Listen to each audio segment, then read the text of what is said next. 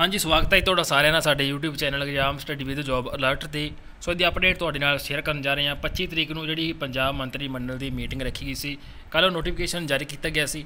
ਤਾਂ ਇਹ 25 ਤਰੀਕ ਨੂੰ ਹੋਣ ਵਾਲੀ ਜੋ ਕੈਬਨਿਟ ਮੀਟਿੰਗ ਸੀ, ਇਹਦੀ ਤਾਰੀਖ ਹੈ ਜਿਹੜੀ ਬਦਲ ਦਿੱਤੀ ਗਈ ਹੈ। ਸੋ ਨਵਾਂ ਦਿਨ, ਤਾਰੀਖ ਅਤੇ ਸਥਾਨ ਜਿਹੜਾ ਜਾਰੀ ਕੀਤਾ ਗਿਆ ਨੋਟੀਫਿਕੇਸ਼ਨ ਜਿਹੜਾ ਅੱਜ ਜਾਰੀ ਹੋਇਆ ਸੋ ਕਿਸ ਦਿਨ ਇਹ ਕੈਬਨਿਟ ਮੀਟਿੰਗ ਜਿਹੜੀ ਹੋਣ ਜਾ ਰਹੀ ਹੈ ਅਪਡੇਟ ਤੁਹਾਡੇ ਨਾਲ ਸ਼ੇਅਰ ਕਰਾਂਗੇ। ਤਾਂ ਇਹ ਜੀ ਨੋ- ਨਵਾਂ ਨੋਟੀਫਿਕੇਸ਼ਨ ਜੋ ਅੱਜ ਜਾਰੀ ਕੀਤਾ ਗਿਆ ਮੰਤਰੀ ਪਰਿਸ਼ਦ ਦੀ ਮਿਤੀ 25/8/2022 ਨੂੰ ਹੋਣ ਵਾਲੀ ਮੀਟਿੰਗ, ਹੁਣ ਮਿਤੀ 26/8/2022 ਨੂੰ।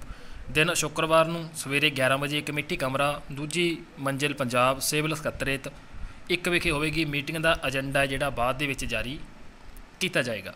ਸੋ ਇਹ 26 ਤਰੀਕ ਨੂੰ ਰੱਖ ਦਿੱਤੀ ਗਈ ਹੈ, ਪਹਿਲਾਂ 25 ਤਰੀਕ ਨੂੰ ਯਾਨੀ ਕਿ 25 ਅਗਸਤ ਨੂੰ ਇਹ ਮੀਟਿੰਗ ਹੋਣੀ ਸੀ।